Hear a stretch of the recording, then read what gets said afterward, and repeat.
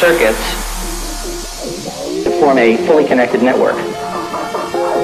Interconnect each of the computers, and then the message will go back, such as this.